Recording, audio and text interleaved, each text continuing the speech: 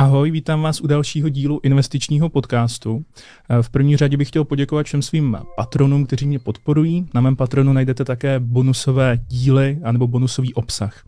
Teďka už bych tady rád přivítal Michála Romancova, politického geografa. Moc krát děkuji, že jste přijal mé pozvání. Já děkuji za pozvání.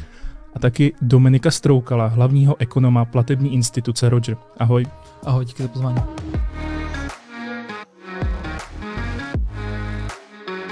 První otázka je na vás, Michale. Vy jste měl skvělou přednášku, eh, která se mi hrozně líbila. Eh, je to je s názvem Rusko v mezinárodních stazích a ne proč Rusku nerozumíme. A já bych se vás chtěl zeptat, jestli byste tohleto nějak mohl schrnout, proč vlastně Rusku nerozumíme? V zásadě ten hlavní problém je ten, eh, že když komunikujeme s Rusy, tak nefunguje eh, to, co na, jak se říká, první dobrou eh, funguje třeba, když Evropan komunikuje s Japoncem, Korejcem, Číňanem a tak dále. Prostě vy nevidíte, že ten, kdo sedí proti vám, je jiný. Protože ta jinakost se skrývá někde vevnitř Skrývá se v tom, jakým způsobem ten člověk, jenž je vaším partnerem, eh, z jakých eh, podmínek vyšel, eh, jak jsou strukturovány jeho hodnoty. A my se domníváme, že hodnoty, které Rusové jaksi mají hluboce zakořeněné, že jsou stejné, jako jsou u nás. A ono tomu tak není. Ruská společnost se po staletí vyvíjela vedle Evropy, podobně jako se třeba vedle Evropy vyvíjela společnost arabská ale nikdo nepochybuje o tom, že prostě fungování třeba rodiny klasické v arabském světě je strukturováno podle jiných. Neříkám, že naprosto odlišných, ale prostě podle jiných e, norem, než jak je tomu u nás. A s Ruskem je to velice podobné. Problém ovšem je v tom, e, že Rusové si někdy od doby vlády Petra Velikého, zejména tedy ruské elity, a nejčastěji přicházíme eh, do kontaktu s těmi elitami, tak eh, oni si velmi rychle osvojili eh, vlastně náš slovník, zvládají vlastně podstatně lépe porozumět tomu, jak a proč funguje naše společnost, než my, jak funguje ta jejich. Mimo jiné proto, že ty elity, a to je v těch posledních 30 letech velice silné, takže mezi námi žijí, studují tady, některým se náš způsob života líbí natolik, že tady vlastně zůstávají eh, natrvalo a tímto procesem přestávají být Rusy, ne v tom etnickém slova smyslu, ale v tom slova smyslu hodnotovém a začínají se z nich stávat e, Evropané. A někteří e, jiní prostě, kteří tady žijí, tak e, vlastně mají tu, řekněme, janusovskou tvář. To znamená, když jsou tady s námi, tak jsou schopni fungovat podle těch našich vzorců, nedělá jim to žádný problém. A když se potom vrátí domů, tak tam zase fungují tak, aby vlastně bez problémů fungovali v kontextu jejich společnosti společnosti. To, že jejich společnost je eh, jiná, jinak strukturovaná, to nezbytně nutně neznamená, že je horší. Podstatné je, že je jiná a my bychom eh, tuhle tu jinakost měli od začátku až do konce promítat eh, nejen do toho, jakým způsobem s Rusy komunikujeme, ale také do toho, jaká máme očekávání a když si tohleto osvojíme, tak se vyvarujeme obrovského množství chyb a zejména zklamání. Dobře, takže kdybych to měl úplně jednoduše schrnout, tak uh, Rus vlastně pro nás vypadá zvenku jako Evropan, ale on vevnitř Evropan vůbec není. Přesně tak. Jako kdyby vlastně vevnitř existovala nějaká skřínka, kterou on je schopen otevřít nebo zavřít podle toho, eh, co konkrétně potřebuje. To znamená, když je v Evropě, on ji bez problému otevře, a ten vnějšek koresponduje s tím vnitřkem a v okamžiku, kdy je e, v Rusku, tak ji zavře a ten vnějšek najednou jakoby s tím, co my očekáváme, že tam je, tak e, to komunikovat vlastně přestává. Dominiku, kdybys měl porovnat, e, jak funguje třeba ruská ekonomika oproti těm západním, kde vidíš ty hlavní rozdíly? Ruská ekonomika vypadá na mapě veliká, ale je mnohem menší, než doopravdy je. To je asi první věc, kterou je potřeba pořád dokola zdůrazňovat, protože za A ono je to na tom globusu, nebo globu, který vidíme vždycky že jo, od těch školních lavic pořád dokola, ale je to i trošku dědictví toho minulého režimu, že tam je prostě ta velká Rus a máme pořád pocit, že to je obrovská ekonomická velmoc, ale Rusko je relativně malý.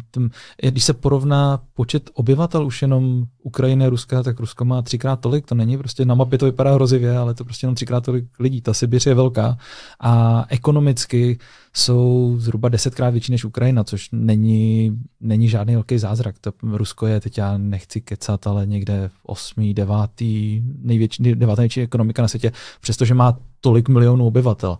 Takže uh, jsou menší, než to vypadá, to je první point. Druhý je, že jsou chudší, než to vypadá, protože uh, zase máme pocit, že to je pořád tak jako Evropa, ale kdyby Rusko bylo zařazené mezi evropské země, tak jako per capita bude patřit mezi ty nejchudší.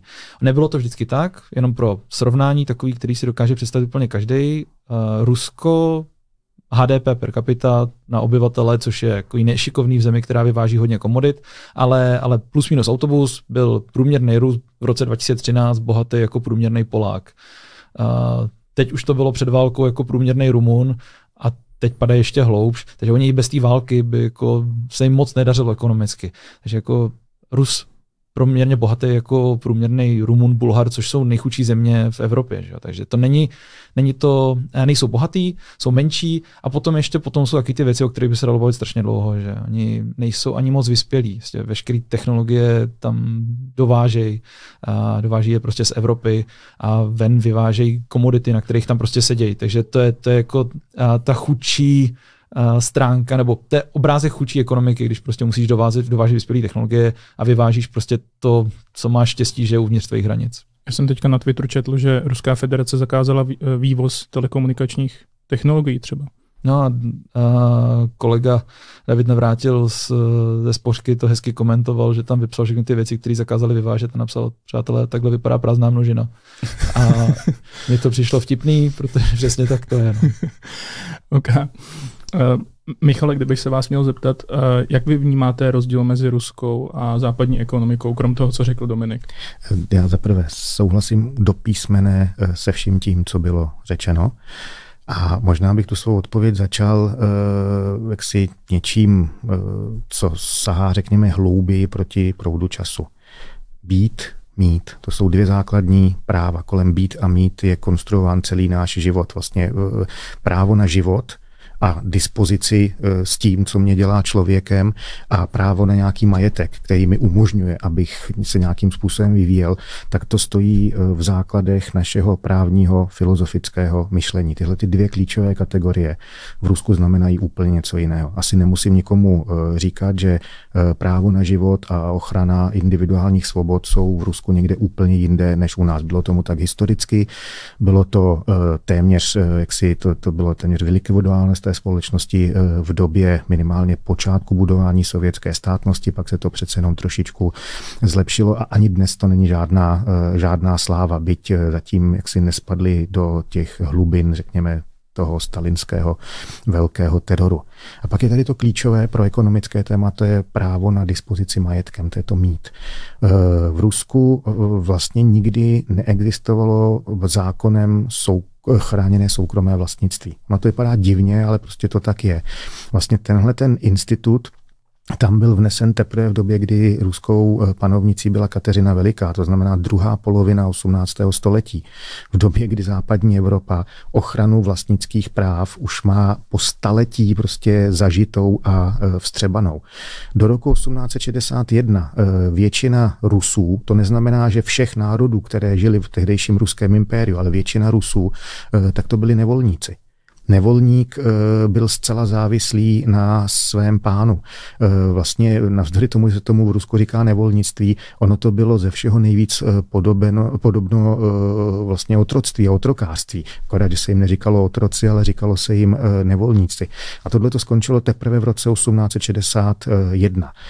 Pak eh, nastalo těch relativně klidných, řekněme 50 let, kdy se ruská ekonomika eh, a ruská společnost eh, velmi rychle přibližovala tehdejšímu západu. Došlo tam k nějaké modernizaci, bohužel pouze hospodářské a vůbec téměř ne politické. No a pak se ta země zhroutila v důsledku první světové války a nastoupili bolševici, kteří opětně ten institut soukromého vlastnictví vlastně totálně z té země vykořenili. Eh, pak následovalo 70 let jejich vlády, kratičké období v 90. letech, kdy se pokoušeli o demokratizaci a privatizaci, ani jedno nevyšlo. A pak máme dnešní eh, ruskou společnost, která je založena vlastně na tom, že drtivou většinu ruského bohatství kontroluje velice úzká skupina takzvaných oligarchů.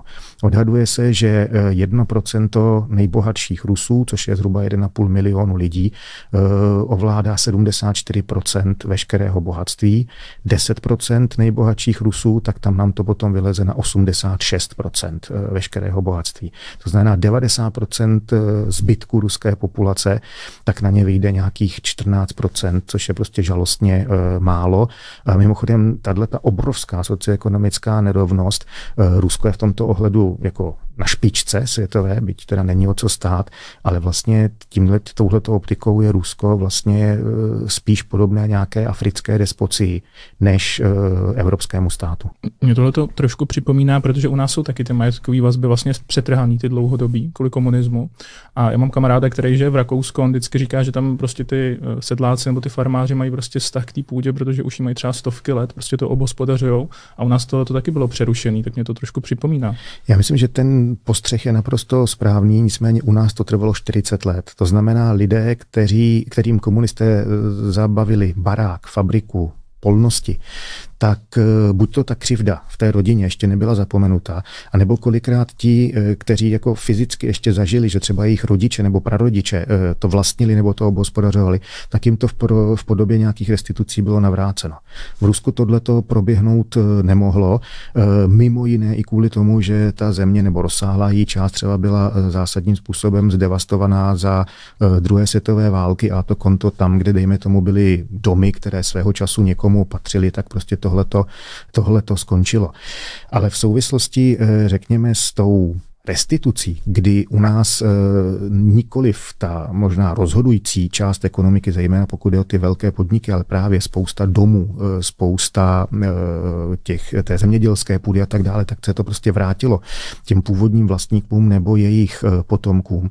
Tak e, Rusko je zajímavé vedle toho, o čem už jsem mluvil také tím, že když se podíváte na to, kdo jsou ti nejbohatší Rusové, tak zjistíte, že mezi tím jedním procentem pochopitelně není nikdo, kdo by zdědil ty peníze, protože není od koho, to znamená, uvidíme, co se s nimi bude dít dál, ale možná za 10-20 let se tam objeví prostě první dědicové. Eh, je tam relativně velmi málo lidí, kteří vybudovali ty svoje firmy, eh, něco takového, jako máme ve Spojených státech, eh, Zuckerberg nebo Gates nebo něco takového. Byť tam samozřejmě takovýhle jsou, ale je jich velice málo.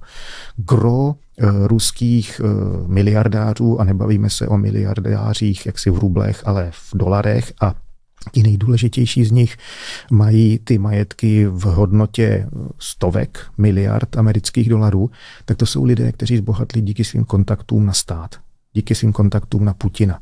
Tohle je něco, v čem Rusko zase válcuje třeba Indii nebo Čínu, což jsou ty další vlastně jakoby velké pro většinu Evropanů jako pořád ještě do značné míry, řekněme, exotické destinace. Dalo by se říct, že vlastně pokud chcete být v Rusku ten super bohatý člověk, tak musíte mít vazby na Putina? Nejen, že musíte mít vazby na Putina, musíte být loajální. To je třeba zajímavé, že opravdu ty největší majetky ve Spojených státech eh, vznikají někde úplně jinde, než je státem kontrolovaná e, sféra. Když jste ve Spojených státech e, úspěšný státní úředník, tak dejme tomu z vás za odměnu udělají velvyslance, dostanete nějaký společenský kredit, ale nezbohnat, nezbohatnete. Zatímco v Rusku, když jste loajální, tak zbohatnete a to způsobem, který se naprosto vymyká jakémukoliv srovnání. Dobře, já teďka přejdu k sankcím, protože já dost často čtu, že míří právě na ty nejbohatší Rusy nebo na ty nejvlivnější, ale oni určitě zasáhnou i život těch obyčejných lidí. A Dominiku, mě by zajímalo vlastně, co ty sankce teďka Rusku budou způsobovat. Kdybych pokračoval v tom příkladu, když jsem se koukal na ty země, jak to Rusko spadlo z toho Polska na úroveň Rumunska, tak eh, špatně se to odhaduje, protože tam je obrovská proměna, kterou neznáme a to, jak dlouho ten konflikt bude trvat. A, takže to může být lecos. Jo. Ale jsou samozřejmě my ekonomové potřebujeme co nejrychleji vydat někde nějakou zprávu o tom, co se čeká, že když se podíváš na nějaký rozumný studie, který zkusí prostě jako to aspoň protáhnout nějakou čárou a říkají, dobrý, jestli ten konflikt prostě by skončil zítra, tak už to by znamenalo pro Rusko teďka, že by se propadlo někde na úroveň Kostariky, jo, nebo, nebo zemí, která jako není úplně jako super chudá, ale, ale ještě už je hluboko pod, eh, pod někde pod eh, tím Rumunskem třeba. A kdyby ten konflikt měl trvat díl, řekněme jako za horizont letošního roku, tak, tak ty odhady říkají dobře, při těch současných sankcích, při, při tom současném propadu, který vidíme, při tom současném zastavení biznesu a těch mezinárodních toků, by to pro Rusko znamenalo pravděpodobně jako dostat se někde na úroveň rovníkový Guinea nebo Gabonu. A to si pamatuju docela dobře, protože to zrovna jako jsou takové jako hezký uh, země, které nejsou úplně chudý v rámci Afriky. Oni patří mezi ty země, kde to ještě relativně jde, ale k sakru to je prostě jako ten by si nečekal u země, která je jako od nás takový kousíček, že by se dostala na úroveň Gabonu nebo rovníkový Guinea. Takže to je, to je problém. Prostě nikdo by nežil radši jako průměrný člověk samozřejmě v, rovníky Guinea oproti tomu Polsku. A to je, to je, to je sešup, který tam zažívali už předtím a ty sankce ho teďka samozřejmě ještě jako a, prohlouběj. Když ještě se vrátím zpátky k té původní otázce jako těch, těch sankcí na, na ty oligarchy, na ty chudí, ono v teorii těch sankcí jsou v zásadě dvoje. Jsou ty plošní, který trestají kolektivně tu zem jako takovou a oni mají nějaký vliv, protože to já bych řekl, že u nás si dokážeme představit, že kdyby náš nějaký politik to zvoral a díky tomu my jsme tady prostě začali chudnout, tak ho vyměníme, budeme naštvaný. A v Rusku, a to je spíš otázka na kolegu, já si myslím, že je to poměrně naivní, ale chápu, že to musí být, prostě, že některé ty sankce jsou tady tou kolektivní vinou, prostě, tak tady to máte Rusko jako celý. Ale ty musí být potom doprovázený těma cílenýma a to jsou ty sankce, které míří na ty oligarchy, které míří na jejich majetek, protože tam už to naivní úplně není. To je to, co kolega správně říká, je uh, ten vztah, který má Kreml společně s těmi oligarchama, musí být zájemně výhodný. A jakmile přestává být zájemně výhodný, tak tam může docházet k nějakému konfliktu, v nějž někdo doufá, a to úplně není moje doména, já věřím, že by to tak mohlo být, než někdo doufá, že by tam mohl prostě vykřesat nějaký puč nebo prostě nějaký aspoň pnutí, že by z toho mohlo něco vypadnout. U těch obyčejných lidí, jak se říká, že jo, já to slovo nesnáším, ale tak tam tomu nevěřím, to je podle mě naivní. My jsme to viděli i u těch sankcí, které byly předtím, že jako, že by to nějak popularitu Putina snížilo, často i naopak, vlastně, že to vypráte ten zlej západ, který nám tady ubližuje a on si dokáže na tom body získat. Ale když mám mluvit k těm biznismenům a říct jim, hele, já jsem tady udělal výpad a oni se ho budou ptát, jako, co dál? Máš to jako promyšlený? Co, jako, jak, jak z toho vycouváme? Jako, jak, jak vrátí nám ty jachty? A já nevím, nechtěl bych být jako v jeho kůži teďka v těch jednáních, protože tam už jako to není, že by byl tím krutovládcem. Tam prostě to je vzájemně výhodný obchod, kdy na té druhé straně on potřebuje stejně jako oni potřebují jeho. Takže a, to je ten druhý cíl, který doplňuje potom tu kolektivní vinu v těch sankcích. Um, Michale, myslíte si, že je reálný, že by se uh, Rusové nebo ty oligarchové zbavili Putina kvůli sankcím? Uh, zase, já tady budu částečně souhlasit a částečně bych si dovolil trošku rozporovat to, co tady bylo před chvilkou řečeno. Uh, protože a poněvadž uh, úplně souhlasím s tím, jak, jak tady bylo popsáno vlastně, na koho dopadají ty sankce. Protože ty sankce začnou dopadat, uh, už jsou opravdu v takovém rozměru, že to velmi rychle začne dopadat na ty obyčejné Rusy, prostě na běžné, běžné obyvatele. A dopadá to na ty, na ty uh, oligarchy. Uh, znova zdůraznuju, jedná se zhruba o 1,5 milionu uh, lidí. Uh, problém akorát je v tom, uh, že je otázka, jestli oni vůbec budou mít šanci se s tím Putinem setkat a klást mu nějaké otázky. Bohužel ruský režim se vyvinul do té podoby, že veřejný prostor je určen pouze k tomu, aby se tam demonstrovala loajalita vládci. Nic víc se momentálně ve veřejném prostoru neděje. Pokud bude nějaké eh, zákulisní eh, jaksi jednání, tak tam, dejme tomu, by to eh, možné bylo. Ale my víme z doby, kdy byl Putin ministerský předseda, což on je u moci 22 let a e, v roce 2008 mu e, skončil jeho tehdy druhý prezidentský mandát a od roku 2008 do roku 2012 e, byl ministerským předsedou. V tuhle dobu přišla ekonomická krize 27-28, která se v Rusku také nějakým způsobem projevila. A tam vlastně Putin všem Rusům ukázal, jak on jedná s oligarchy. Jeden z nejvýznamnějších uh, oligarchů v Rusku, Oleg Děrypaska, uh, člověk, který má neuvěřitelné majetky, člověk, uh, který vlastní stovky firem, jeden skutečně z nejbohatších a věřilo se, že i nejmocnějších Rusů, tak zase může se na to kdokoliv podívat na YouTube, tam si stačí zadat Putin v Pikaljovu, což je městečko, kde byla fabrika, která patřila Děrypaskovi a e, tam stávkovali e, dělníci. Putin přijel, co by, co by ministerský předseda, jednal s těmi dělníky nebo s nějakým jejich výborem a u takového dlouhého stolu seděl Putin v čele, okolo seděli všichni ti a úplně na konci seděl vlastník e, Děrypaska. A on si tam s nima něco dohodnul a pak nařídil tomu Děrypaskovi, aby přišel, podepsal tu dohodu, ale jeho jako majitele do toho vlastně vůbec nenechal e, zasahovat. A tohle je něco, kdy se vracíme k tomu právu mít. Ta firma je Děrypasky. Nebo by měla být Děrypasky podle platných ruských zákonů. A najednou do té firmy přijede ministerský předseda, ale místo toho, aby vyjednával, tak si vyslechne jednu stranu sporu a nařídí majiteli, aby něco udělal. A ten majitel, ten Děrypaska, jak se říká, stáhnul ocas, přišel, podepsal a jako by tím byl problém vyřešen. Já, já jsem to viděl, on dokonce pak tam ještě Putin udělal to gesto s tím perem, že jo? Protože on od, odchází s perem a ještě řekne Naval zpátky. Vrať se a vrať mi, vrať Přesně mi pero. tak. A pero, pero je moje. A tohle byl signál, který Putin poslal s, e, Rusům, to byl signál, který Putin poslal e, světu. A já jsem přesvědčen, že na tomhle se zatím nic nezměnilo, respektive do veřejně otevřených zdrojů, tak e, zatím jsme neviděli žádný posun. A to konto já se domnívám, že ta komunikace která z pohledu odtud, jako je prostě logická, že prostě Putin by se měl bavit s guvernérkou centrální banky, s dalšími ekonomickými ministry, prostě se, že my máme tripartitu tady u nás, to znamená zaměstnanci, zaměstnavatele, jejich zástupci by měli prostě komunikovat s ruským prezidentem nebo s vládou, tak tohle je něco, co v Rusku prostě nefunguje. Putin se chová k celému tomu státu, tak jako se chovali e, ruští carové. A já bych jenom připomněl, že i ten poslední z nich, e, kterého sundala e, revoluce v roce e, 1917, připomínám ne ta bolševická, ale únorová, kterou udělali vlastně lidé carovi blízcí, tak jeho titul byl Samoděržec.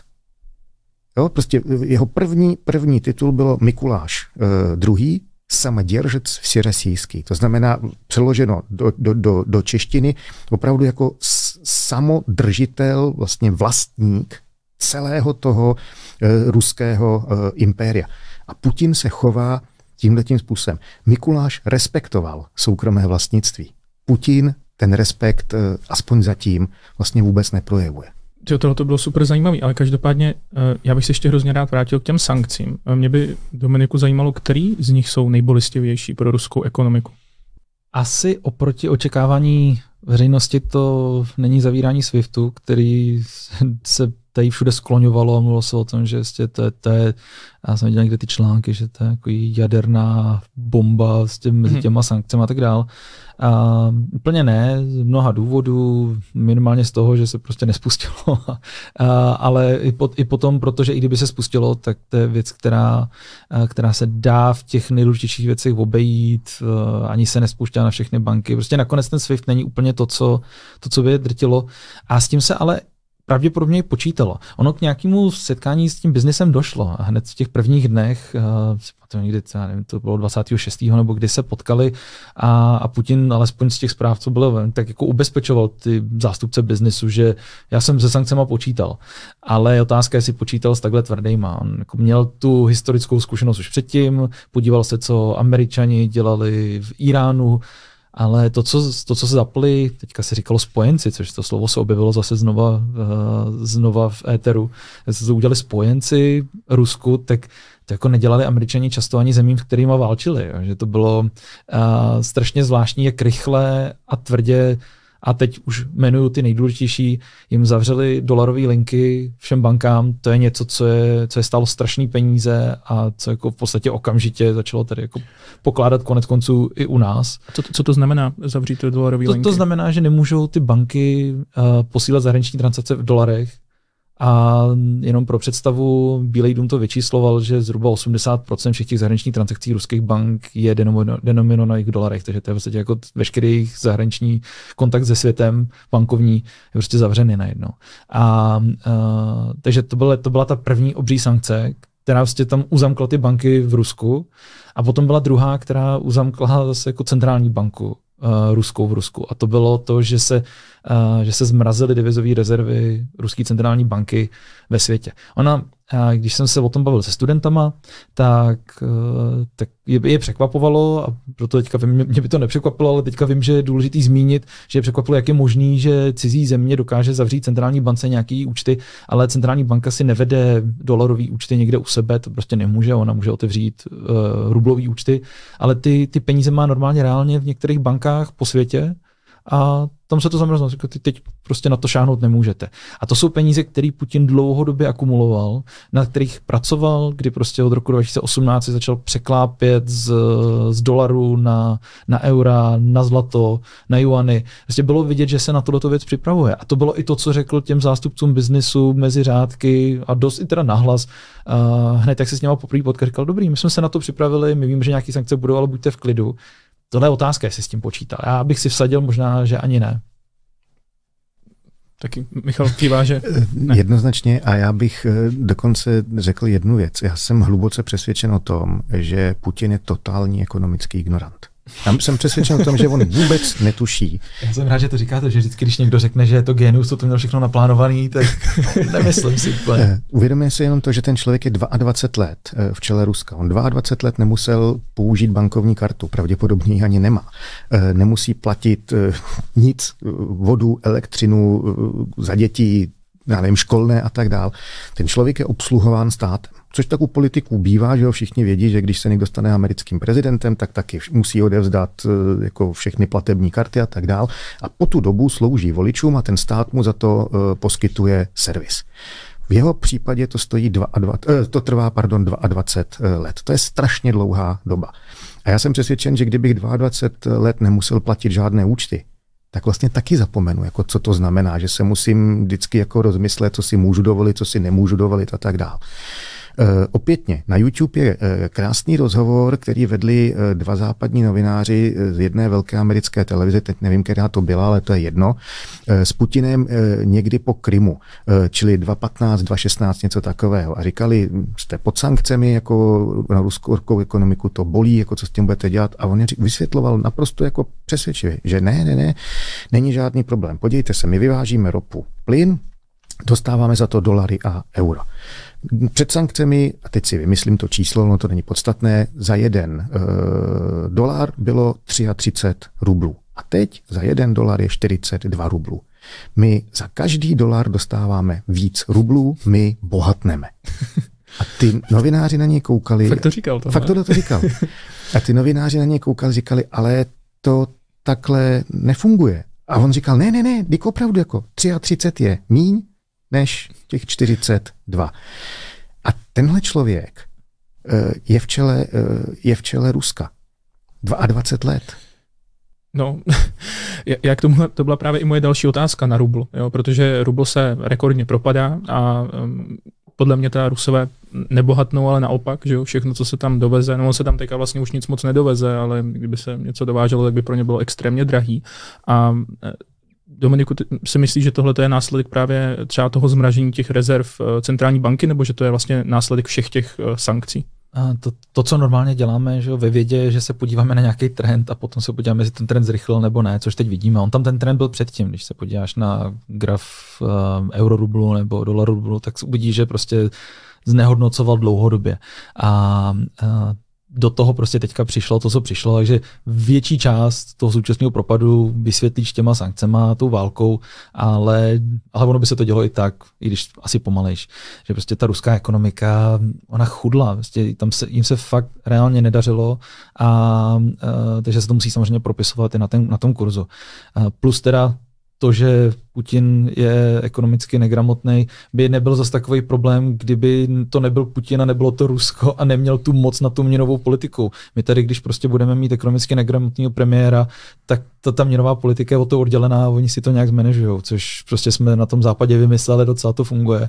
V Rusku to bohužel neplatí, tam on si je předvolá před ten dlouhý stůl a říká jim, co mají dělat. Takže to je, to je, to je bohužel ten problém. A uh, ještě si myslím, že nejsme ani zdaleka u konce, protože podle mě v Rusku o tom ještě spousta lidí ani vůbec neví, že se něco takového děje, takže a ten, ten propad může být ještě velký. Jakkoliv my ekonomie většinou máme tendenci říkat, že všechno už je to zaprajsovaný, všichni všechno ví, tak tady mám pocit, že jako to ještě, ještě poletí.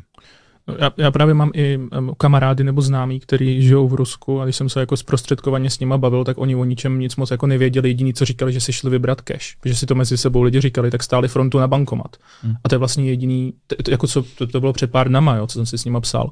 A to je vlastně jediný, co oni zaznamenali. Ale uh, ještě k těm sankcím. Uh, myslíš si, že se sankce dají obcházet pomocí kryptoměn, třeba pomocí bitcoinu? Uh, já jsem od tebe viděl, že se na to zeptáš.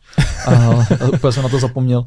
Uh, míň, než si všichni myslej. Uh, už jenom z toho prozaického důvodu, že jako aby si to krypto koupil, tak si o tebe někdo musí koupit ten rubl na druhé straně. To není jako magická věc, kterou si kupuješ někde na internetu. No, no ale tak já můžu vzít bitcoin v Rusku a můžu si za něj jako směnit něco, můžu udělat nějaký barter, ne že bych ho dal za rubly, ale, Jasně, ale, už, ale no, už ho musím mít vlastně. No, musí ti ho někdo dát za to, za něco hmm. jiného, což je, což je těžký, prostě ta druhá strana tam moc není. A dá se, dělá se to, že dneska jsem mluvil se svým studentem jedním, kterému vedu uh, bakalářku z Ruska a ten, uh, bavili jsme se o tom docela dlouze a on mi říkal, že jeho rodina prostě zkoušela mu poslat nějaký peníze sem na studia, že on tady studuje, teď ještě to nějak moc nefunguje, ale že byli schopní tam prostě koupit nějaký stablecoiny, koupili tam nějaký tetry a poslali to sem uh, a, a šlo to. Uh, ale Uh, takže jako dá se, ale že by si tím dokázal obcházet sankce ve smyslu, budeme nakupovat bitcoiny za rubly, když ty rubly nikdo nechce, prostě bude to, bude to drahý a třeba na Ukrajině už to vůbec nejde, tam je to, to, to je prostě tragédie a, a nebo i tady. Uh, trošku jsem přišel vedle, ale jenom jako pro představu tady je to vidět úplně nejkrásněji, že teďka mě oslovila jedna uh, redaktorka televize a ptala se mě, jestli dokážeme prostě tady Ukrajincovi prodat bitcoin a poslat ho na Ukrajinu. Asi nejde, protože jako ty hřivny tady nikdo ne, nekoupí.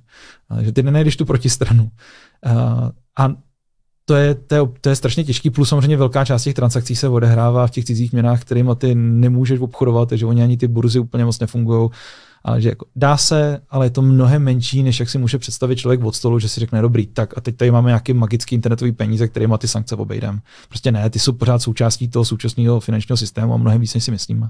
Já odběhnu ještě o těch kryptoměn, abych se pak k ním ještě rád vrátil, ale Ukrajinec, který teda teďka uh, uteče z Ukrajiny, přijede do Čech, tak si nemůže vyměnit hřivny. Nikde? Tak nejde to. Kdo, kdo si kde koupí, že? No vlastně. No, Takže. To, je, to je ohromný problém. Oni sem jezdí, mají hromadu keše, a, a nic.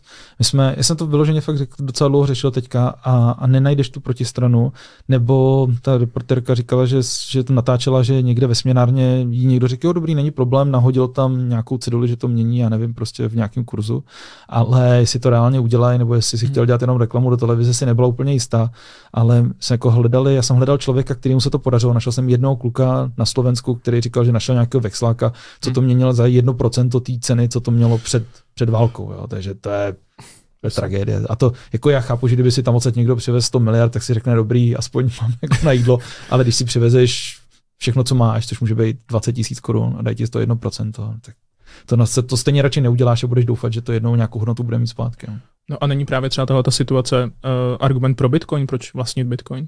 Nevím, jestli pro Bitcoin, ale určitě to je jako zajímavý, zajímavý moment, kdy, kdy se lidi zamýšlejí nad tím asi víc než dřív, jak jednoduchý je ty peníze zavřít. A, a jako někdo to bude řešit a dlouho na to zapomínal lidi, ale může to řešit tím, že si nakoupí jako zlato nebo nevím, stříbrný mince, někomu je blížší ta digitální cesta. A myslím si, že ten jako to momentum, protože člověk bude připravený na to, že i v roce 2022 se můžeme dostat do válečného konfliktu, na což jsme prostě všichni úplně zapomněli, tak, tak bude, mít chtít, bude chtít mít klidný spaní a bude mít prostě někde někdo fyzicky v trezoru, někdo v trezoru digitálním, bude mít prostě nahraný něco, kdyby cokoliv. Takže myslím, že tam momentum tam bude, ale není to, není to momentum ve smyslu, teď všichni prostě vyměníme všechno, co máme za krypto, to, to se asi vůbec nemůže nikdo soudnej čekat.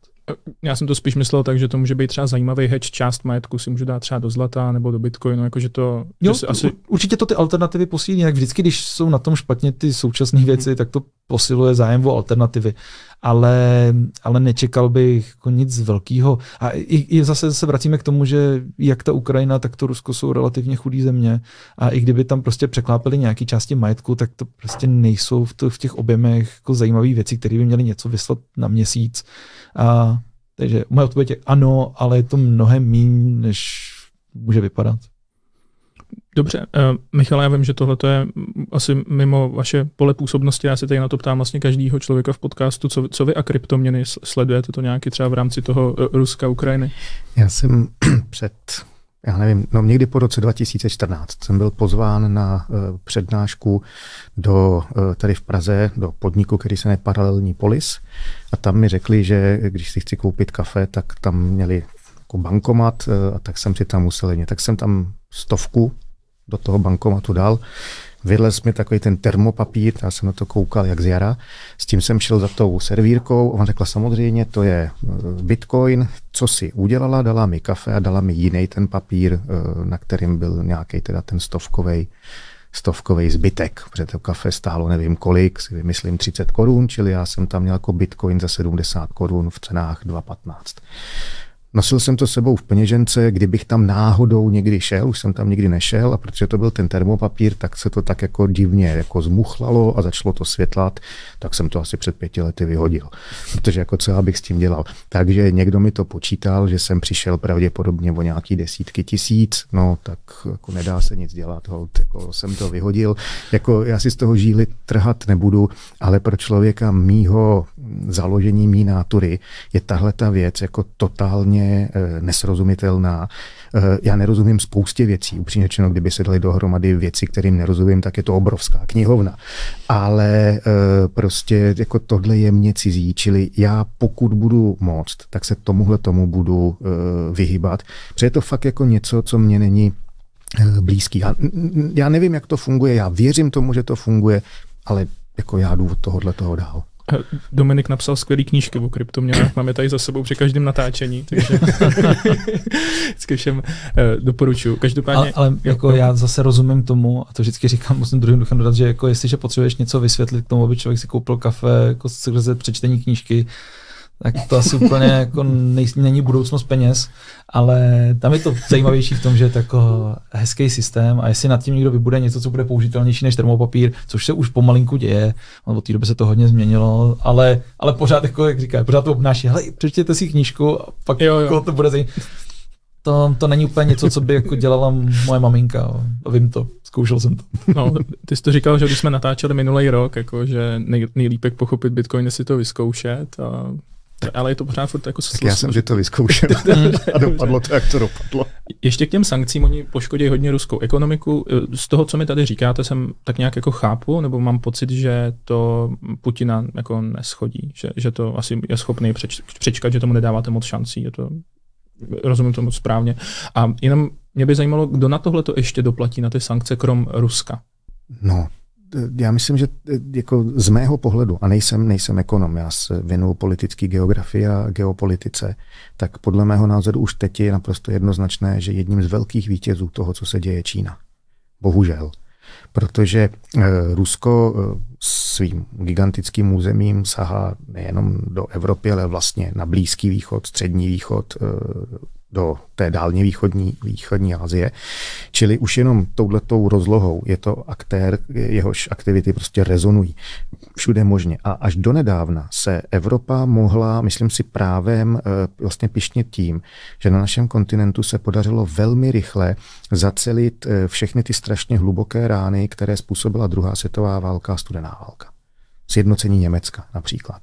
Podívejte se na Dálný východ, eh, tam vlastně eh, z druhé světové války, respektive ze studené války rezultovaly dvě Koreje, máme je tam pořád a jedna z nich je naprosto šílený eh, režim.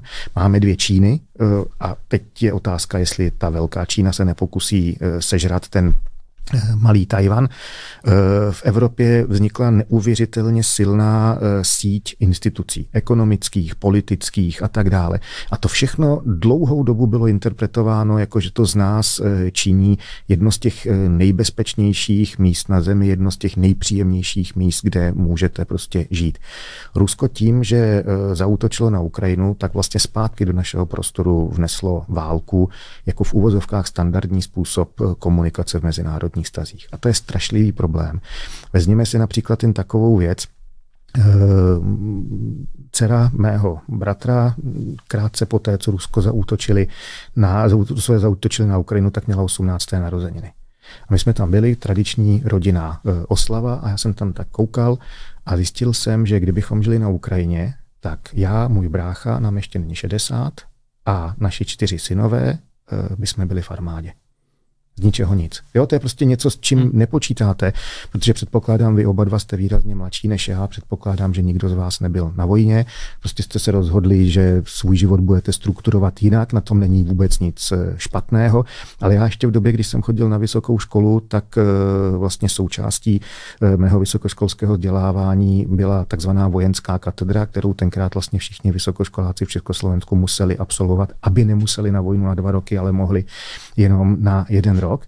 A najednou eh, prostě tahle jakoby jistota, eh, která byla součástí eh, našich životů po roce 89, nebo ono to teda chvilku trvalo, že, než byla zrušená povinná vojenská služba, ale to je v tenhle okamžik detail, tak najednou tohle je vlastně strukturální změna, která se může nějakým způsobem promítnout na jednou z ničeho nic do vašich životů. A pokud toho Putin nenechá, tak najednou do života vašich dětí. Prostě když se vám narodí kluk, tak se může stát, že opětně eh, tady bude prostě zákonem ošetřená nějaká eh, podoba povinné vojenské služby nebo vojenského eh, výcviku. To nezbytně nutně nemusí na naší společnost dopadnout prostě jenom negativně, ono to může mít i pozitivní dopady, ale prostě to bude obrovská změna. A pokud jde o tu Čínu, tak eh, dneska už nikdo nepochybuje o tom, jak eh, velký, eh, jak jakoby v úvozovkách těžký hráč na světové scéně Čína je. A Čína má teďka tu obrovskou výhodu, že Čína se vůbec nemusí angažovat. Stačí jenom pozorovat. Eh, Američané se angažují diplomaticky, finančně, eh, je tady ta vojenská podpora. Evropské země se angažují, Rusko se angažuje a spaluje obrovské množství svých rezerv. Promrhalo totálně politický kredit, který případně mělo. Eh, a ta Čína si může rozhodnout, kdy a jak se bude chovat, kdy podpoří Rusko, kdy podpoří nás, kdy zůstane neutrální. A to je samozřejmě pro takhle silného hráče obrovská výhoda. Vy jste tady mluvil o tom, že když se mi v budoucnu narodí dítě a bude to kluk, tak budu myslet na to třeba, že do jeho života zasáhne válka a nemají právě tohleto uh, rusové za, za zlý Putinovi, nebo vnímají to tak. A třeba i ty sankce, když mě napadá jako obyčejný Rus, jsem naštvaný na moji vládu, anebo jsem naštvaný na Evropu, že mě přestala posílat uh, třeba nějaký zboží, nebo že... Já si myslím, že v tento okamžik ta druhá věc uh, je daleko pravděpodobnější, protože Putin, jestli něco umí, tak umí skvělým způsobem uh, drtivé většině Rusů prodávat přesně to, co potřebuje. Uh, nejsem si jistý, jestli jsem to tady už náhodou neříkal, protože dneska tohle už je moje třetí uh, vystoupení, takže se omlouvám, pokud se budu opakovat, ale 78% Rusů nikdy neopustilo Ruskou federaci. 75% Rusů jako základní informační zdroj má vysílání jednoho z pěti televizních kanálů, které e, obhospodařuje e, vláda. To znamená na těch kanálech sice v jiných e, časových segmentech, ale pokud jde o spravodajství, dostanete vždycky to samé. A teď to vypadá, že řada Rusů, a to nemluvím o Rusech, kteří žijí někde v nějakých zapadlých vesnicích, kde bychom jako logicky předpokládali, že prostě jsou odstřížení od světa, ale lidé, kteří jsou na tom vlastně podobně, jako jsme my tady v Česku, tak říkají, říkají, no jo, no tak teď se něco děje, tak dobře, no tak je nějaká válka, respektive ono se tomu ani válka neříká, že říká se tomu speciální vojenská operace. Oni teďka šílej, jako odešel McDonald's, Starbucks a tak dále. Ono to nebude trvat eh, dlouho, ono se to vrátí zpátky. A když se to zpátky nevrátí, no tak je otázka, jak se zachováte. A buď to si můžete říct, jo, tak my jsme udělali nějakou chybu, něco je špatně, můžeme se to sami, a nebo můžete dostat vztek na ty, který odešli a který vás takzvaně nechali ve štyku, ve štychu. Pardon. A já si myslím, že ta druhá varianta je daleko pravděpodobnější.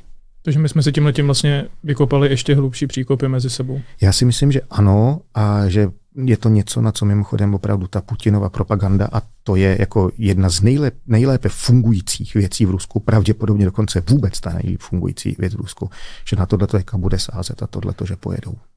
Takže Rusové hodně schudnou a Dominiku, co my? My taky schudneme. Jo, ale ne tolik.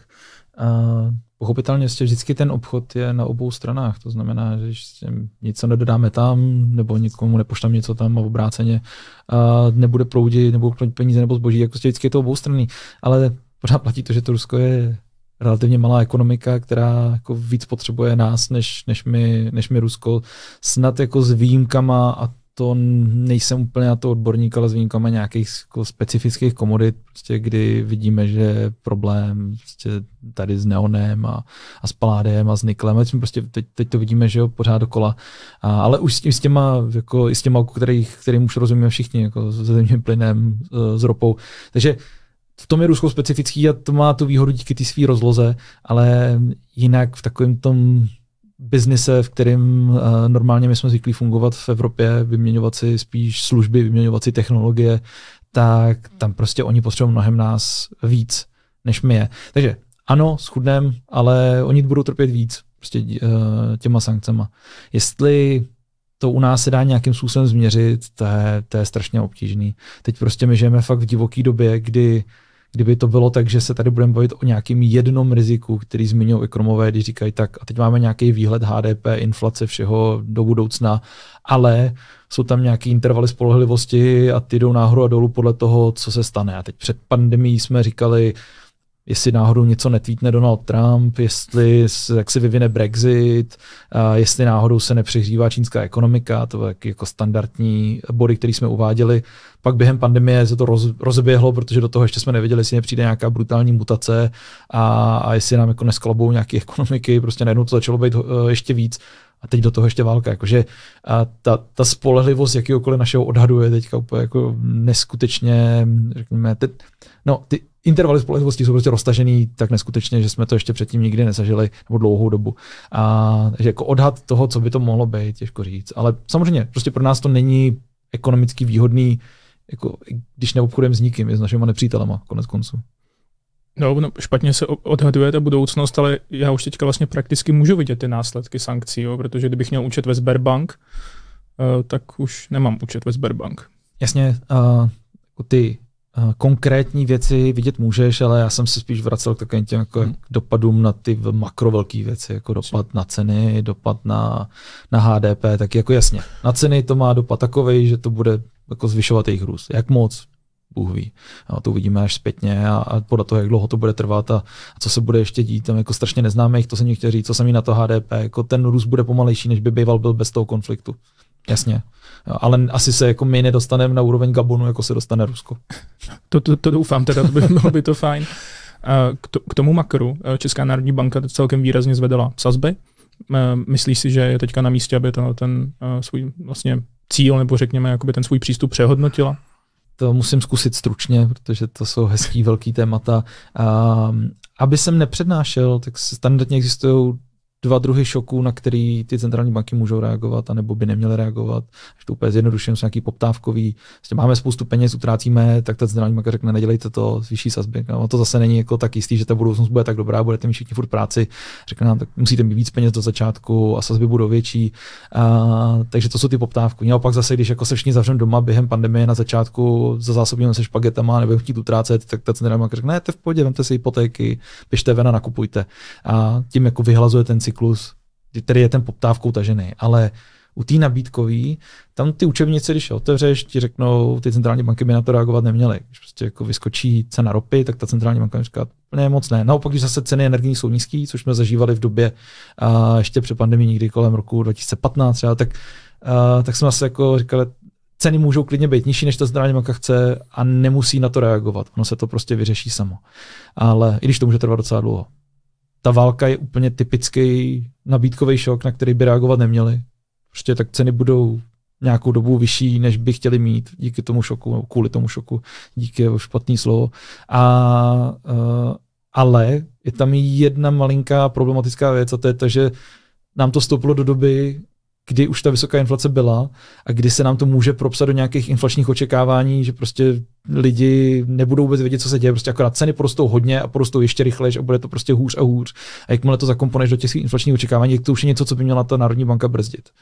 No. Do jaký míry, jak moc se to tam promítne, to jsou všechno věci, které se neskutečně špatně měří a na konci dne si tam prostě musí jako radě centrální banky sednout trošku se jako podívat sami jako do introspekcí do toho, jak by to jak by asi jako reagovala veřejnost. A říct, ale prostě pojďme třeba možná ještě zvednout sazby, aby jsme jako řekli, hele, my tady jsme, my se o to postaráme, nemusíte mít vysoký, uh, musíte mít očekávání vysoké inflace, že částečně to teď kompenzují těma intervencema. Říkají, my tady fakt jsme, něco děláme, nemusíte se bát, že by ten kurz spadl někam hluboko.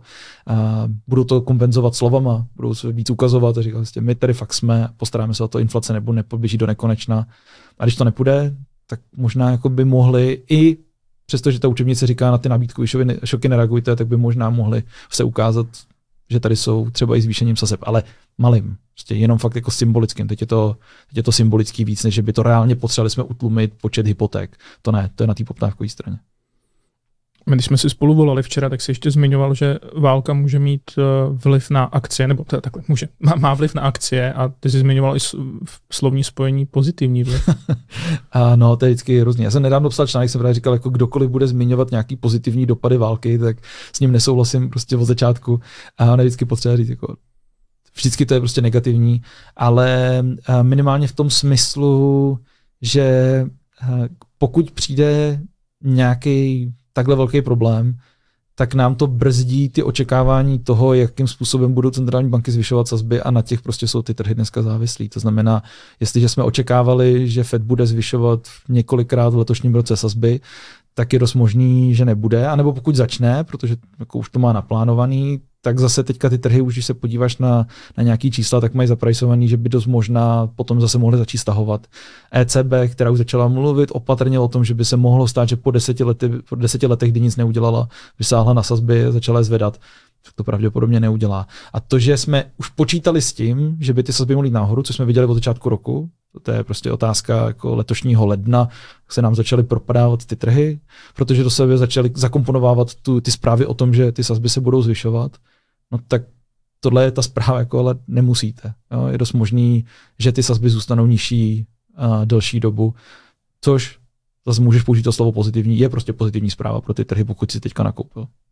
Michale, jak vlastně vůbec kouká obyčejný Rus na třeba investování nebo na financem, že jsme si řekli, že Rusko je hodně chudá země, já jsem o tom i nedá, nebo já jsem před, před rokem jsem dokonce dával takový zajímavý tweet a to není, teďka doufám, že Dominik mě neukamenuje, ale já jsem uh, tweetoval, že vlastně největší obchod, veřejně obchodovatelná společnost ve Spojených státech na akciovém trhu má větší hodnota, hodnotu než celý ruský akciový trh a to bylo ještě před těma těma sankcema. A vlastně, uh, já vím, že to je, vím, že to je takový jakože pofi, pofidérní srovnání hrozně, ale uh, přišlo mi to jako zajímavý fakt. No ale uh, ono tím jako trošku narážíš na to, co je na tom pofiderního, no. je to, že když v Rusku zbohatneš jinak, než takže jsi kamarád s Kremlem, tak to jdeš udělat do zahraničí. Takže on jako ten trh tam je menší už jenom tady z toho důvodu, že jo. No, no, mě spíš jako zajímá vlastně ten přístup jako lidí eh, v Rusku k financím, jako jak nad tím přemýšlej, protože eh, vy jste tam i zmiňoval, že, že tam není tradice vlastně ve vlastnění a, a tak dále, tak... Eh, v Rusku je disproporčně vysoká část lidí závislá na příjmech ze státního rozpočtu.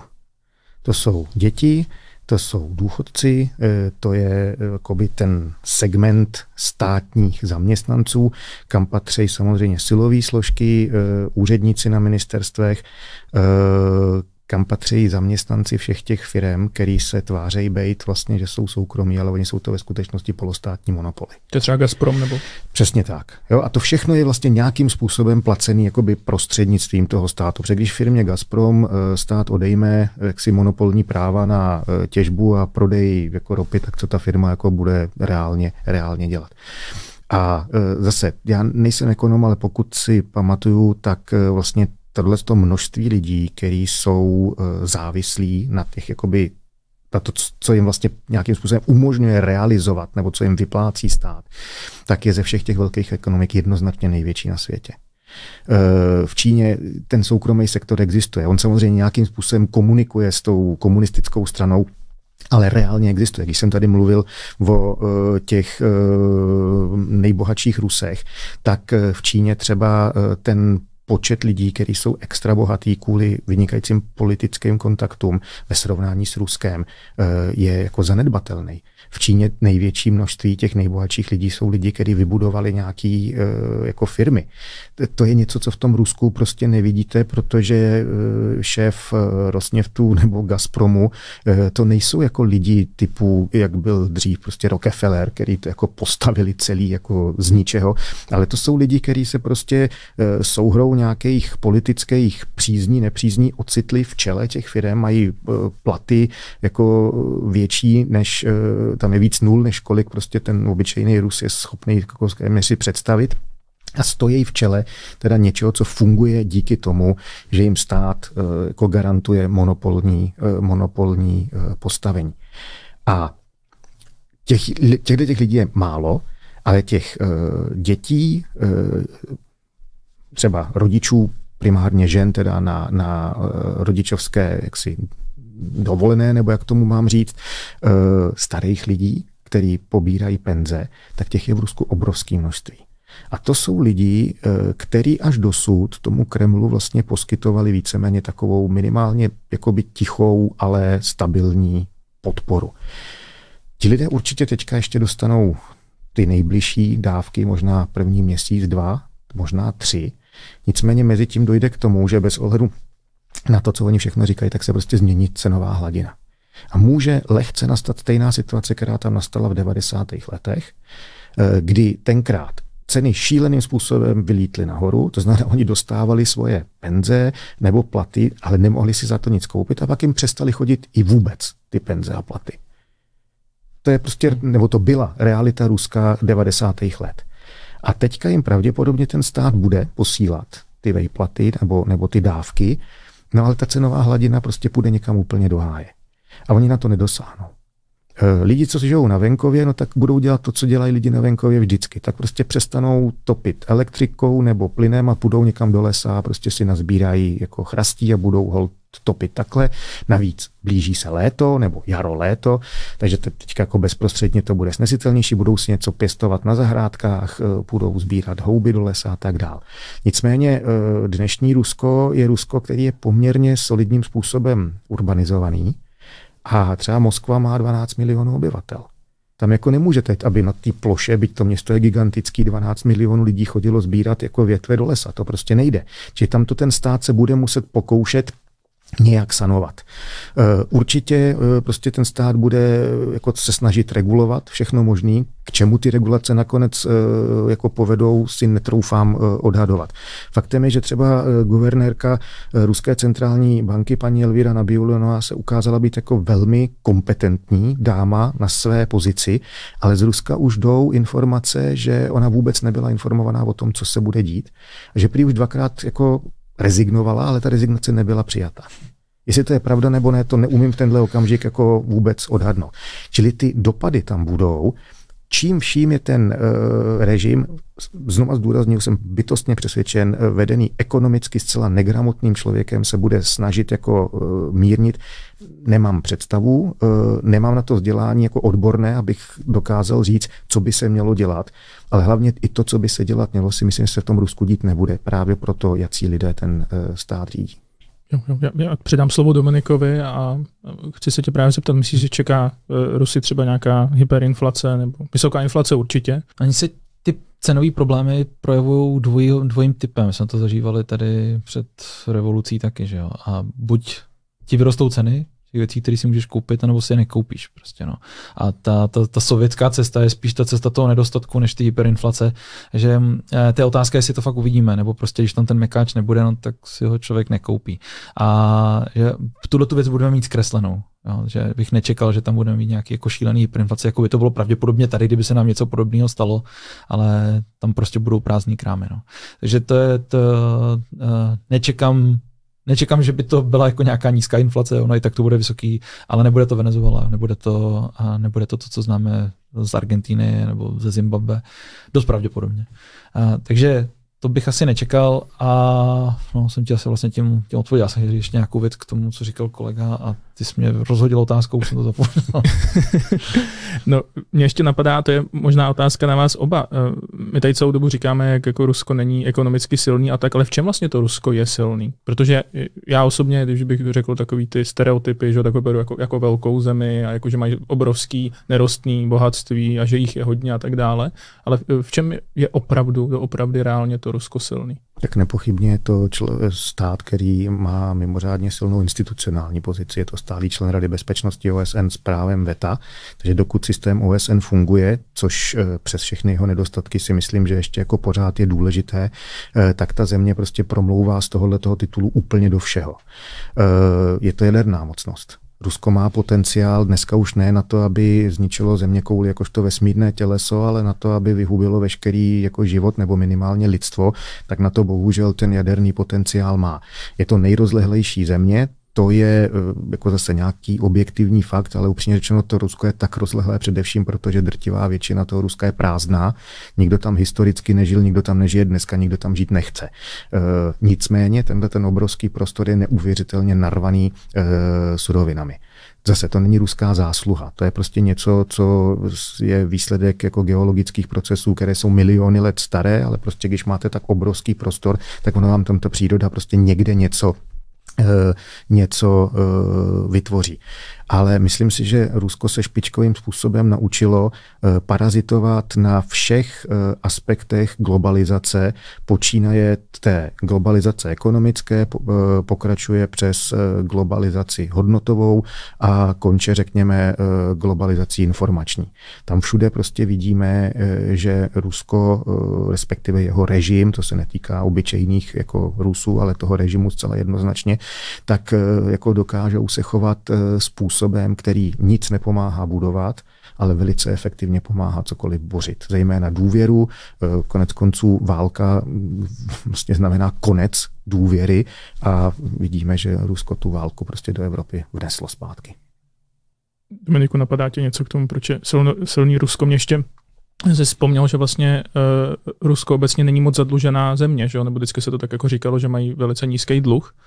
Což ale obvykle chudý země mají. Ono to hmm. je, eh, proti očekávání to, to není naopak, ale protože jim nikdo nepůjčí. Že? To je, to je jako, uh, Bill Gates je pravděpodobně zadluženější než, než já, ale je to právě díky tomu, že mu všichni půjčejí, mě tolik ne.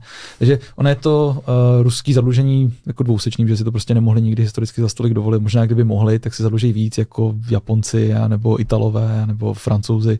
Takže, uh, to, ale je to pravda, to je prostě něco, s čím do toho vstupovali a vypadá to, že i trošku cíleně, že i rest, jako, e, změnili strukturu toho dluhu víc dovnitř, ne na venek, aby ty jako, lidi zvenku to po nich nemuseli tolik chtít, ty lidi vevnitř to vždycky nějak jako zvládnou, a nebo jim to můžeš jo, přikázat. A, takže to ekonomicky asi pravda je, a plus samozřejmě byly zmíněny ty, byly zmíněny ty komodity a jinak mě nic napadlo, když to o tom mluvil, jak jsem si říkal, že možná hokejově, ale ty už stejně nikam nepustí, že jo, asi, takže, a, ale to asi úplně nepatří do této debaty, takže jinak mě asi nic prostě nenapadlo. Je pravda, že v některých těch komoditách nám to jako znásobí problémy, které už jsme měli. Typicky já jsem vůbec nevěděl, mě to říkali potom až studenti, když jsme se teď o tom bavili a jsme řešili právě některé ty komodity, které tam jsou a prostě vyšla nějaká zpráva. Největší problém ze všech komodit je neon. Říkal, já bych čekal ropa nebo plyn. A říkal, no, že ten neon, z ní se dělá něco, se pohání lasery, které dělají ty mikročipy a, a tam už jsme ten problém měli a teď to bude ještě větší a přece jenom ta naše civilizace na nich dost stojí. Takže jako Bůh ví, kde, kde nějaký tyhle ty věci vybublají. No. Já bych jenom k tomuhle tomu dodal eh, jednu věc, která jak si mě osobně děsí, protože tam je ten evidentní politický přesah. Rusko a Ukrajina jsou velcí producenti obilovin. Eh, vlastně eh, tam došlo, eh, že sovětský svaz nebyl schopen uživit svoji vlastní populaci. Oni využili opětně potom toho obrovského přírodního bohatství, který mají mimo jiné i v podobě těch lánů kvalitní černozemě, nakoupili techniku, nakoupili technologie a začali ve velkém dělat to, čím bylo ruské impérium proslavené před první světovou válkou, bylo to obilnice Evropy. Obrovská část těch prostor, kde Ukrajina pěstuje obilí, jsou, to jsou teďka ty zóny válečných operací. Je krajně nepravděpodobné, že by Ukrajina byla schopná, i když to na těch polích třeba vyroste, tak sklidit, respektive potom jako dodat to, co standardně dodávala.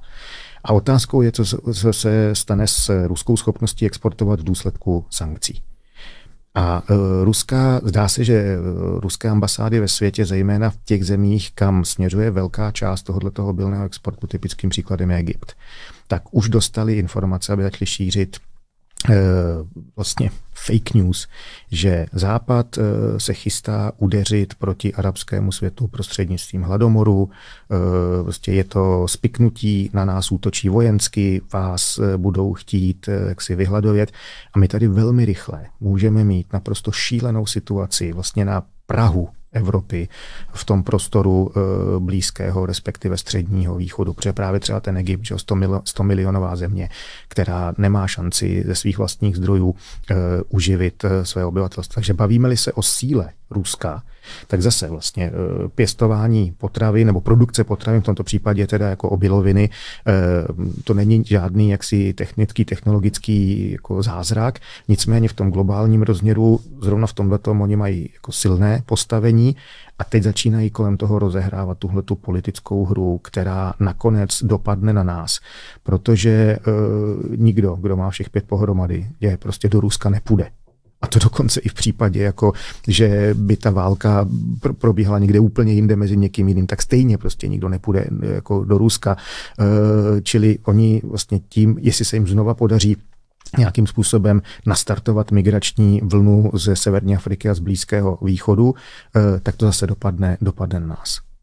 Možná ještě doplním a k tomu geopolitickému, a vždycky strašně rád poslouchám, že tomu moc nerozumím. A, tak, taky ta, to rád poslouchám. to skvělé. A tak, tak ještě, ještě jedna ekonomická věc. To, že produkují, a teď ty čísla jsou zhruba, nevím, že Rusko společně s Ukrajinou má nevím, třetinu světové produkce pšenice a tak dál, tak uh, laicky to vypadá, že si řeknu, dobrý, tak jako já stejně moc toho chleba nejím, tak mě se to moc nedotkne, ale to je prostě šílený, jak je to moc v tom systému důležitý. To znamená, že ty jako nenakrmíš dobytek, neprodukují se hnojiva a tohle to všechno, když prostě se vytočí v nějaký spirále, tak se nám může stát, že tady ty potraviny budou jako v řádově o desítky procent dražší. Což my bychom asi ustáli a ty domácnosti, které by to neustály, tak jsme dostatečně bohatí na to, aby jsme se o ně dokázali postarat. Ale my bohužel prostě to přichází v době, kdy se může stát, že se ti jako seběhne už tak rostoucí ceny všeho, že se ti seběhne jako trošku ochlazující se ekonomika, můžeš přijít o práci, končí ti fixace hypotéky, zdražily ti energie předtím, teď ještě navíc.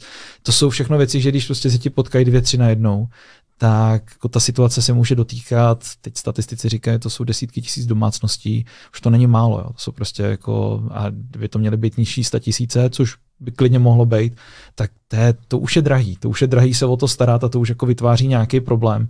Takže já si nemyslím, že to uh, fakt jako není problém, je to něco, čemu bychom se měli víc věnovat, že přesně to na začátku vypadá jenom jako, tak co, no, tak nebude za stolik pšenice nebo bude dražší, ale a to se ti prostě promítne strašně moc a 20% na jídle, speciálně u chudších domácností, kterými se v tom spotřební koši víc toho jídla a energií, než mají bohatší, tak prostě se ti to znásobí a vytvoří to nějaký problém a ještě problém, jako, který vytváří nějakou nerovnost, to si ti propisuje do politiky. To jsou jako věci, kterým já už potom nerozumím, ale mám z nich strach.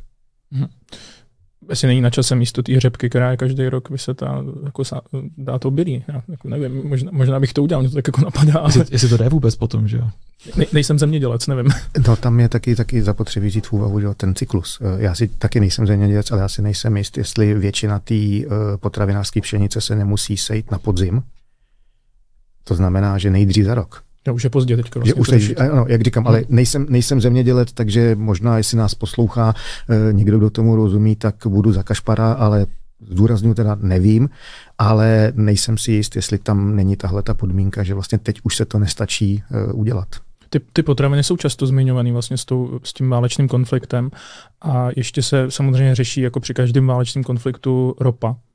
A ta má taky že obrovský vliv vlastně na, na všechno. A teďka mi přijde, že poslední dny, když se koukám uh, na zprávy nebo čtu, čtu někde prostě nějaký zpravodajství, tak se tam řeší jako několikrát za den, o kolik zdražil benzín. Jak, jak ty tohle to vnímáš? A... A já, já na to mám poměrně tvrdý názor, asi neúplně populární. Já tam jako nevidím nic moc extra špatného jako ze strany těch čerpaček v době, která je nejistá, v době, kdy prostě jako si to můžou dovolit, pořád je to jako poptávka a nabídka, tak na té straně nabídky, a když budu přestřelovat nesmyslně ceny, no, tak pořád si to jako někdo musí koupit. Jestli jako zneužívají tý, toho postavení možná krátkodobě někdo prostě si řekne, dobrý, tak je panika, tak já jako zdražím. Může, může být, ale ale jako není to, to, není žád, to nejsou žádný extrémní čísla vzhledem k tomu, co se děje. Jo, že a mě, mě, to vůbec nepřekvapuje. Připadá mi divoký, že tady prostě budeme sestavovat nějaký lidi, kteří budou kontrolovat velikosti marží. Mám z toho jako velký obavy. Jakkoliv je asi zjevný, že se tady tu a tam objeví někde prostě na čerpačce někdo, kdo, kdo zdraží víc, než by měl, což prostě co to znamená, jako by měl. Když to prostě nekoupím, no tak tak to tolik zdražit nemůže. Prostě oni se využívá se toho, že, že roste ta poptávka samozřejmě. Plus ještě to není úplně tak jako jednoduchý jako představ, já si nedokážu představit všechny ty lidi, kteří nadávají na to, co se děje, že by byli na straně té druhé, na té straně té nabídky, byli by tím pumpařem a řekli by, no tak dobře, tak já vám to prodám za ty včerejší ceny, nebo, nebo když nevím, co bude do budoucna, tak jasně, že jako spíš dražím, rozkouknu se, mm. podívám se, co je kolem, pak to jako budu stahovat dolů. A připadá mi, že to je jako mnohem větší kauza, než by to mohla být, ale, ale chápu to, prostě stojí nám na to obrovská, to tím uváděl, stojí nám na to strašně moc, prostě co, co z ropy nevyrábíme, to ropu dovážíme, jako na, že je to jako super, uh, super důležitý, takže jasně chápu ty emoce, ale možná bych je trošku mírnil a, a prostě lidi si tam počítají trojčlenkou, kolik by měla stát správně teďka jako lit, nádrž nebo lit, litr nafty, to prostě nejde, takhle jednoduše se to spočítat nedá. Je to prostě vždycky jak nabídka, tak poptávka. Prostě neurčujeme cenu nákladem a není to takhle jednoduchý. No, to byla právě moje otázka. Já jsem teďka na, na, na svůj Twitter uh, jako reagoval jsem na tweet, uh, oficiální tweet ČSSD, fakt to jako není fake. Uh, ČSSD navrhuje, že by chtěli strop 36 korun za litr benzínu. Prosím tě, mohl bys to jako ekonom vysvětlit, jestli to je reálný tohle to zajistit? Ah, no, já když mi říkal předtím 35, to, 36 chtěl Babiš, ne, jak jsem si říkal, tak ČSSD postřih, no ne, 35 a bude se předá někdo. Um, no, Samozřejmě, že když prostě někomu řekneš, aby prodával něco za 36 a v realitě to nakupuje za 40, tak ti to neprodá, to prostě jako nedává smysl. Takže druhým dechem musíš dát, pokud to bude dělat. A my jsme schopni někde přikázat tu a tam nějaký ceny, děláme to ve jako spoustě věcí často, tak potom ale musíme říct za B, no pak to musíš jako těm firmám nějakým způsobem doplatit. Řekneš jim, dobře, za tolik to nakupujete, to jste mi prokázali, plus jim tam šupneš nějaký jako minulý marže, řekneš dobrý a, a předplatíme to. Jinými slovy říkáme, budeme dotovat benzín, akorát slovo dotace se tady v politice moc nenosí teďka, takže uh, jako pro mě za mě, jestli se vláda rozhodne, že chce dotovat benzín, tak ať to dělají, ale ale i to by bylo přece divadlo, protože my na jedné straně jako z toho benzínu dvě třetiny si jako odebere stát a pak to jako bude zpátky dotovat. A já jsem poměrně rád, že vláda jako s touhle cestou vůbec nešla, ani o tom nemluvila. Vlastně zkusili jít jinou cestou, která taky není jednoduchá, není to úplně všespásný řešení, ale, ale tohle je prostě jako ekonomický analfabetismus a prostě to nefunguje. Přikázat tu cenu není možný a, a dotovat nechtějí říkat nahlas. No. Mě právě napadá, proč eh, to ČSSD právě, že to dá, jako, proč to dávají na Twitter, tím to musí být jasný, ne, ta reakce, nebo jestli tomu fakt věří? To, já, to, to dělali předtím, že já jsem to nechápal ani předtím a nechápu to ani teď. No, vlastně, asi tam je nějaký tým lidí na marketingu, který vlastně musí si tam odfajfkovat, že dělají něco na Twitteru. Ale je pravda, že ten Twitter je v tomhle specifický, takže jako dá sodu. No. Hmm. Twitter je hodně zlý místo, to je pravda. No. vy, máte, vy máte mimochodem oba jako skvělý Twittery, který uh, oba sleduju, takže to divákům doporučuji, jestli máte Twitter, jestli ho používáte, tak ho zač- jestli ho nepoužíváte, tak začněte a začněte tady sledovat mít dva hosty, protože uh, tvoří skvělý obsah určitě. Uh, a, a jaký jsou, Michale, vaše zkušenosti teďka s Twitterem třeba z poslední doby, protože to často se řeší ty ruský trolové a tak dále. Máte s tím nějaké zkušenosti? Eh, přiznám se, že já jsem zatím hrozně milé e, překvapen. E, zjistil jsem e, vlastně, že za asi prvních e, čtyři dní ruské války proti Ukrajině, tak mě přibylo asi 7 tisíc sledujících, což byl prostě takový skok, se kterým jsem, jako takhle mě jedno, kolik lidí mě jako sleduje. Já to nijak netizuju, což se prý nějakým způsobem dá dělat, já netuším, jako jak tohle to funguje, takže jako pro mě to číslo znamená pouze to, že se zdá, že jsem jako relevantní zdroj informací pro nějaký jako větší počet lidí, což mě samozřejmě jako těší, ale jako jinak to neprožívám. Já tam ty věci dávám primárně protože mě v zásadě zajímají a já když potom hledám nějakou informaci, tak je pro mě velice často jednodušší se kouknout do vlastní timeliny, co tam mám a rychleji se k tomu dostanu, než to někde prostě hledat eh, jinde. Ale já jsem zažíval vlastně ty nejhorší věci na Twitteru v roce 2014, eh, kdy eh, jsem se vyjadřoval jako kriticky vůči tomu, co Rusko dělá na Ukrajině. Tehdy byla u nás úplně jiná politická situace a konstelace. Eh, moje žena tehdy eh, vlastně pracovala ještě ve státní eh, službě a podílela se na přípravě některých klíčových dokumentů, které mimochodem stát využívá teď v kontextu téhleté krize. A když si vás začne do svých nevymáchaných úst brát prezident republiky a lidi kolem něj, tak se toho chytne prostě spousta lidí a začnou vám jako se snažit dávat sudu, no tak tam je poměrně jednoduchá, jako jednoduchý řešení, používáte ty bloky, takže já mám pocit v tenhle okamžik, jako že jsem zablokoval všechno, co jsem nechtěl, aby se ke mně dostalo a jako to, že má někdo jako jiný názor, než mám já, je úplně v pořádku, hmm. ale všechny ty vulgarity a takovéhle věci, o to prostě nemám zájem a na tom Twitteru se toho dá docela dobře zbavit. A jak možná k tomu dodal, ale že, uh, nemluvím do mikrofonu, uh, že uh, Twitter je třeba úplně jiný než Facebook v tomhle. Tam prostě ta, ten, ta, ten střední proud Facebookový si myslí úplně něco jiného než na tom Twitteru, což je zajímavý sledovat. Mm. A hlavně i v tom roce 2014, tak asi tím, že to nebyla válka pořád, aspoň tak, jak se o tom prostě dneska mluví, tak, tak to bylo pořád dokola takový, vlastně já, já nejsem ani jako na téhle straně, ani na téhle straně a proč vlastně jako tomu Putinovi tady něco za něco nedáváte. Přesně tak. A to bylo, to bylo strašně divný. Já si pamatuju, jsem sledoval a přišlo mi to strašně zvláštní, jak, jako, jak nikdo nemů... jak se všichni chodil kolem horký kaše, báli se říct a podívejte se, ten Putin je fakt divný člověk.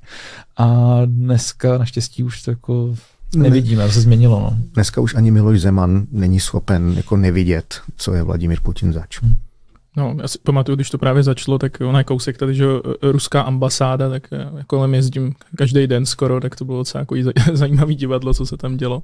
Ale um, tyjo, já jsem překvapený, kam jsme se dostali ta, eh, k, eh, k Zemanovi, ale on, že jo, eh, já jsem tak nějak jako čekal, co řekne, a v tom projevu něco řekl, což asi lidi možná třeba nějak jako potěšilo nebo řekli, že OK, ale odčinil tím nějak ty věci, které říkal celý ty dlouhý roky.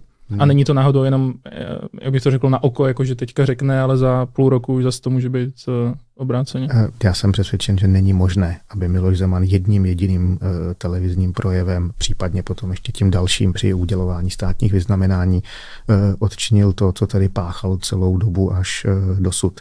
Miloš Zeman není člověk, který by neměl přístup k informacím. To není jako důchodce z Vysočiny, abych tak řekl, který nezná, neví, neorientuje se a dejme tomu podléhá jako nějakému panslovanskému sentimentu, protože kdysi dávno, když chodil do školy, tak eh, prostě se to tam učil, nebo eh, má pocit, že prostě husité a ruští bohatýři prostě spolu ničili nějaký německý živel nebo něco takového. Miloš Zeman jako byl premiérem této země, měl řadu dalších ústavních funkcí, dneska je prezidentem této země.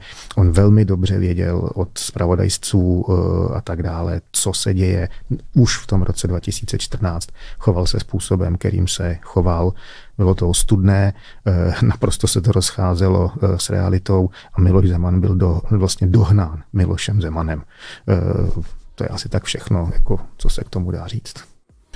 Tak jo, já bych vám chtěl moc krát poděkovat, že jste přišli. My budeme ještě pokračovat na mém patronu, protože na vás mám další zajímavé otázky, takže doufám, že jste se u tohle rozhovoru skvěle bavili a my budeme teda ještě pokračovat.